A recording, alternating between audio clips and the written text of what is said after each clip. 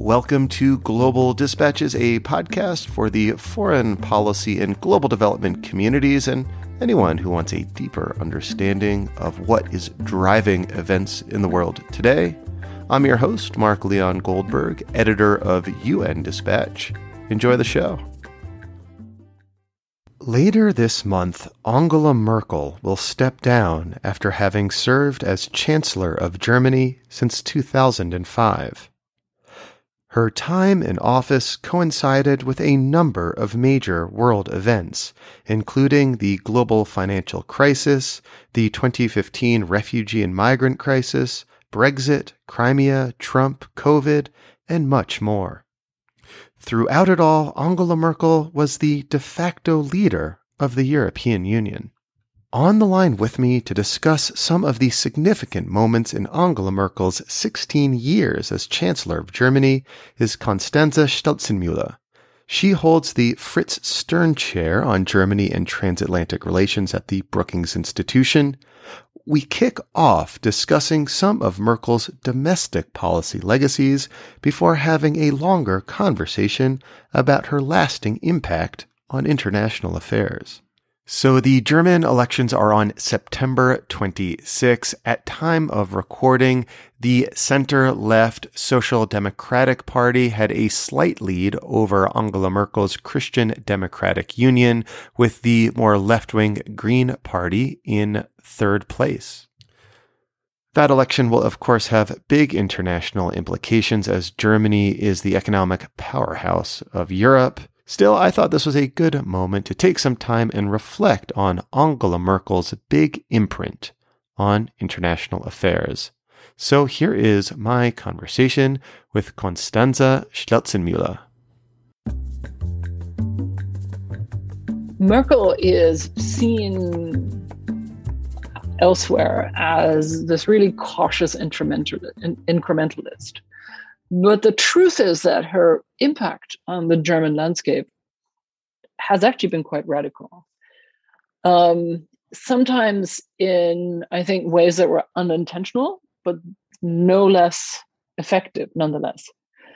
Let me tell you what I mean by that. The two big intentional decisions that she made and had had a massive impact were, of course, um, taking Germany out of nuclear power after the Fukushima nuclear power plant disaster following a tsunami in 2011, um, which has, in many ways, really, not to put too fine a point upon it, screwed up German energy policy and um, the country's overall trajectory in the direction of uh, non fossil power sources it's made it in the short and medium term more dependent on coal and more dependent on gas imports, among other things from Russia.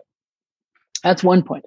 The other point was, of course, famously her decision to not close Germany's borders in the 2015 migration crisis, um, I, I think, like many Germans, would say in retrospect, five years later, okay, many of those immigrants were actually integrated successfully into the workforce and into German society. Much more was made of that at the time than in retrospect seems justified. But at the time, because this overwhelmed German local and regional government structure, governance structures in particular, um, Germans got quite upset at what they thought was a, an appearance of dysfunctionality. And this gave the German right wing party AFD, which until then had sort of been getting no more than 5% of the vote and was mainly a party that was critiquing um, German Eurozone policies, so bailout plans for Greece and others. Um, this gave the AFD an enormous boost of oxygen and uh, made it sort of just explode on the national scene. And it, it entered the German federal legislature with 12.6% in, the 2017 election, making it the main opposition party, which was astounding. Um, those are the two intentional ways in which she changed German political cultures. The the ways where she had she made decisions that had unintended consequences, I think, were um, one was modernizing the CDU, her Christian Democratic Center Right Party, which had um, languished in opposition under a red the, for the duration of a uh, center left government. Um, and she felt that it was too heavily male oriented. Um, there was uh, still huge opposition against same sex marriage. And she took a lot of liberal and center left issues. Again, same sex marriage, um, inclusion of women in the workforce and in politics, uh, minimum wage, issues like that, made them her own, and thereby sort of triangulated the Christian Democratic Party into the middle of the political spectrum and squeezing the Social Democrats to the wall, who, for all of her 16 year tenure, had a really hard time, which is why the fact that they're surging now, um, you know, holds so much irony for Germany. I think I'll stop there because that was already a very long answer. No, that that that's yeah. that's both very interesting answers and um, you know details of German domestic politics I was not previously aware. Um, on her foreign policy legacy, I'd like to maybe start by asking you about her legacy in terms of the European project. I think it's probably fair to say that Germany and Merkel in particular was, you know, first among equals in the European Union. Uh, what would you say since 2005 were her main contributions to the EU? So it's this again is a, is a really complicated topic. Let me start with the most significant thing that I think genuinely saved the European Union in the pandemic. Um, and that is, as Chancellor, agreeing to a European recovery package, a stimulus package um, that I think saved the European co- economy from falling apart and thereby sa- saved, I think, the European political project from falling apart last year. That was an immense step for her party in particular, which had always resisted uh, European debt issuance. Um, if we want to be completely fair, it was her social democrat coalition members again, there's a sort of heavy note of irony here, who were the ones pushing this. Um, her finance minister, one Olaf Scholz, who, yes, is the chancellor of the Social Democrats in the upcoming September 26th election, um, the chancellor candidate, I'm, I'm sorry. And um, they, his finance ministry developed these proposals, and it was a I think, a significant decision for the Christian Democrats to acquiesce and to say, yes, we have to do this exceptionally. Otherwise, um, the, the, the price we could pay will just be too high. Okay, so that that I think was her most significant contribution to the European project. That said, um, Merkel has never in her entire career been um, on the side of the Euro integrationists. Let me explain briefly what I mean by that. There are two big strands in European policy thinking and thinking about the future of Europe. Um, there is the question of do we need to deepen European integration? In other words, push more decision making authority to Brussels, centralize it on issues where we are so interdependent that it doesn't really make sense anymore for national capitals to decide these issues. And one of those issues under debate is, for example, banking union. Um, that's a, um, a, a sense that our banks are genuine vulnerabilities in a financial crisis, and we need unified European rules for that. There is another strand of European thinking that says, no, no, no, we are probably as integrated as we can, as we are ever going to be able to handle politically. Look at the political tensions we already have with Poland and with Hungary and with others. Um, if we if we um, do any more sort of pushing of responsibility and authority to Brussels, this could all break apart.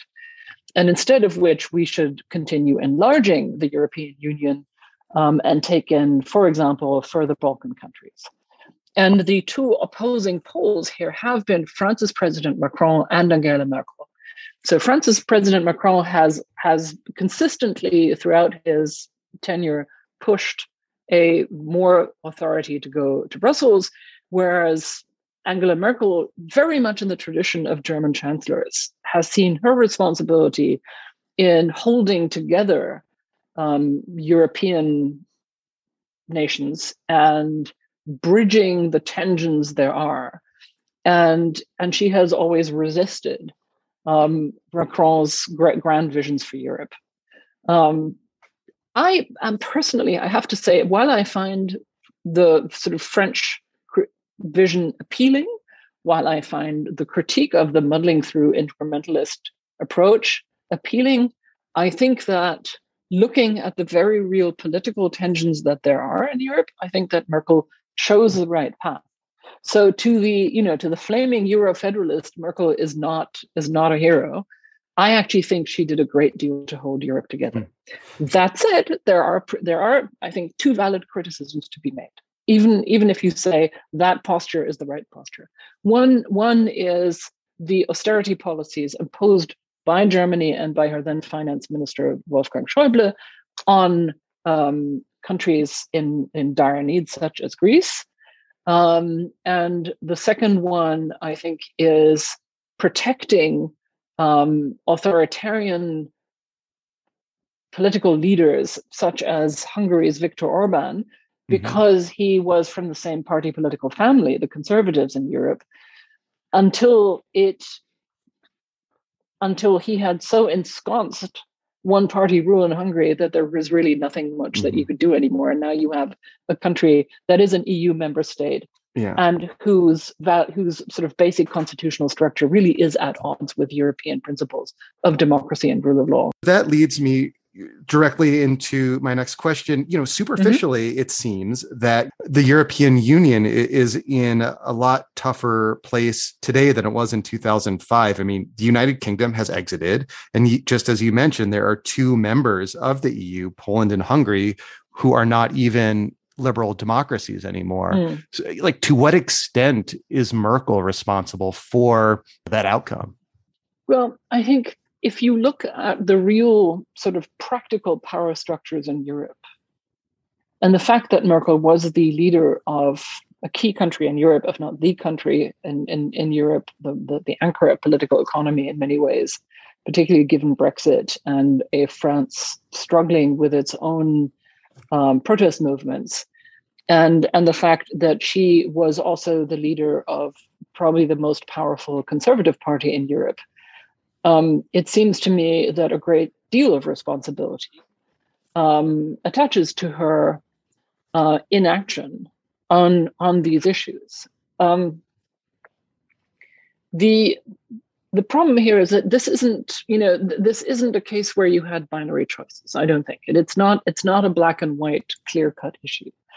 An argument you, you could make an argument a decade ago that this was you know different cultural different cultural values different um, different sense of history a uh, decades of suppressed nationhood under communism seeking expression and that western europeans who had been able to live in freedom unlike the eastern europeans were not entitled to impose their values um, on on the eastern europeans. I mean I, I understand the reticences of the early years. But I think in recent years, at least for the past five or six years, it has become very, very clear what the Hungarian leader has been doing, which really is turning his country into a one party state. Um, and and at the same time um, becoming something of a client state, both of Russia and of China those those things really are in opposition to fundamental European values, and and I think that hmm. there, you know, a stronger uh, European uh, opposition led by Germany or with Germany in a key leadership role, I think would have uh, would have really made a difference, hmm. particularly since there are both in Hungary and in Poland um, segments of civil society who are very unhappy about this development and who have been calling for European solidarity with their position um, for quite a while. So the only other leader in the region to overlap entirely with Angela Merkel is Vladimir Putin. At the end of you know 16 years of Merkel's chancellorship, how would you categorize the Russian German relations today? Again, this isn't this isn't black and white. Um, it's complicated. On the one hand, um, it always is with is Putin. The, yeah, no kidding. But it also always is with Germany. On the one hand, there is the Nord Stream two project, mm-hmm. which I think um, and just to be clear, this yes. is a natural gas pipeline uh, yes. from Russia to Germany or through Germany. Yes, exactly. And mm-hmm. so the the Nord Stream 2 pipeline, I think in many ways was a sop to Germany's energy industry, given a genuinely darkening business environment with Russia. Um, Germany had hoped after the dissolution of the Soviet Union that the former countries of the Soviet Union would all, at some point, join the West, not just the Balts and the Poles and the Hungarians and the Slovaks and the Czechs, but at some point, Russia, and had seen themselves as the bridge for Russia into Europe. I mean, today you'd say these were delusions of grandeur, but I think that was genuinely what a previous generation of German leaders about 30, 20 years ago thought. It soon became very clear that the post Boris Yeltsin leadership, headed by, by Vladimir Putin, had uh, no such intention, and that they were going to try and reap as much um, advantage of the relationship with Germany as they possibly could without obviously making any change to the way um, the Russian power uh, is, works and the way Russian civil society is treated. And so I think the, the turning point for Germany and for Merkel personally was the illegal annexation of Crimea in 2014, and honestly, the the the war, the Russian war with Georgia in 2008 was already something of a wake wake up call that got some policymakers very nervous. But 2014 really was the turning point, and I have you know witnessed witnessed Russian German con- conversations where I got the impression that the of just how angry the Germans were and how little the Russians took that seriously or even understood it culturally. Um, and of course, there is still an ongoing proxy war um, between Ukraine and Russia, um, represented by so called separatists in eastern Ukraine. All of that is of immense concern to Germany as, a, as an issue of, of NATO's security and ultimately also Germany's security. And so I think that, that Merkel, who grew up in the GDR, speaks fluent Russian, and I think you know has clocked Putin's number a very long time ago um, I think has always made it very clear what she thinks of this. And in that context, I think Nord Stream 2 was seen as a sop to German the German industry, energy industry.